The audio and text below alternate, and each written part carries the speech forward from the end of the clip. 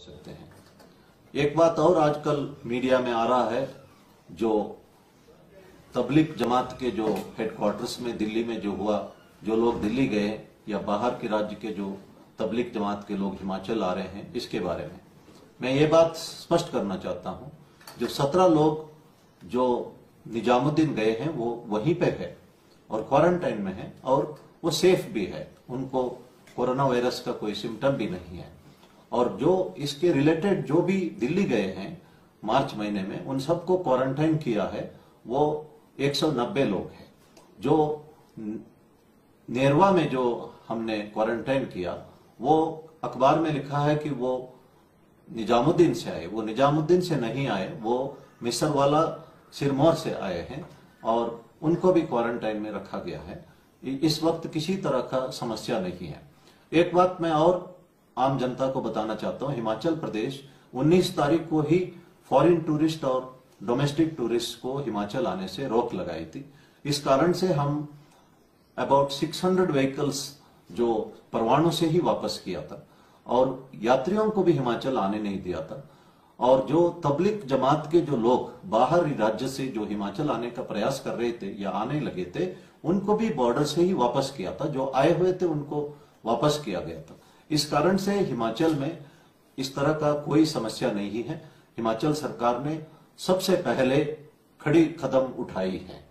मैं मुस्लिम बंधुओं से अनुरोध करना चाहता हूँ कि वे फ्राइडे नमाज़ मस्जिद में ना करें, अपने घर में रहे, घर में ही करें।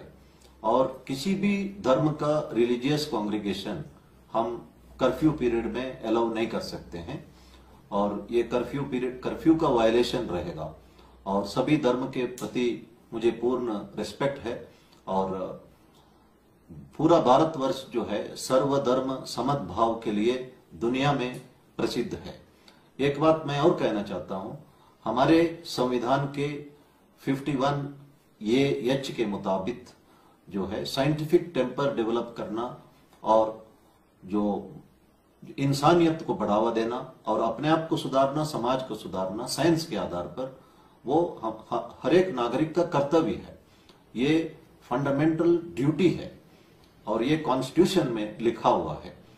और अफसोस की बात है कि हमारे देश में ज़्यादा लोग जो है, वो इसको फंडामेंटल राइट्स को जानते हैं। बहुत कम लोग जो है फंडामेंटल ड्यूटीज़ के बारे में जानते हैं।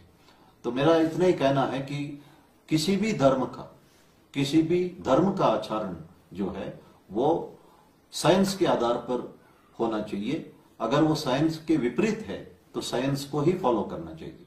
ये जो लॉकडाउन पीरियड है, ये साइंस के आधार पर, एक्सपर्ट्स के एडवाइस के आधार पर, और ये वैश्विक बीमारी को भारतवर्ष में रोकने के लिए लॉकडाउन किया गया है, और इसका पालना करना हर एक